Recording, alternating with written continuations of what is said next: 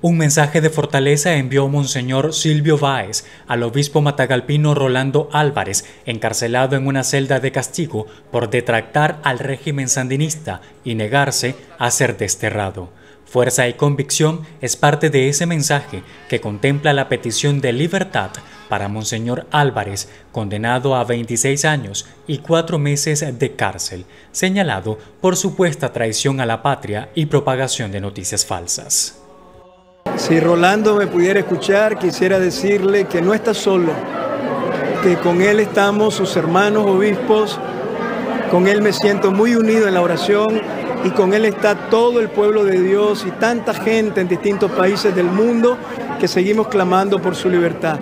Sé fuerte, Rolando, confía en el Señor.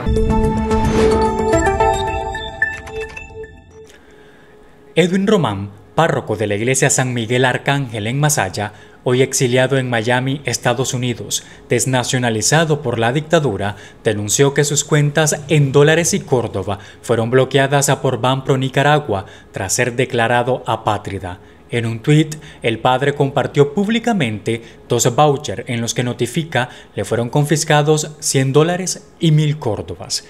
El religioso tildó de ridícula la acción ejecutada en su contra, Román es un fuerte crítico al ilegítimo gobierno sandinista, por lo que ha sido amenazado con cárcel y muerte.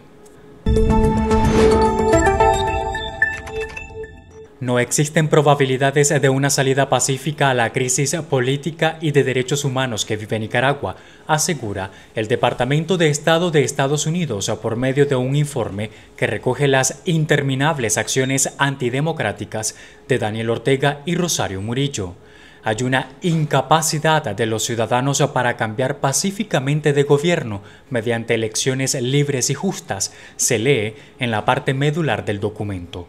Nicaragua tiene un sistema político muy centralizado y autoritario, dominado por el presidente Daniel Ortega Saavedra y su esposa la vicepresidente Rosario Murillo Zambrana.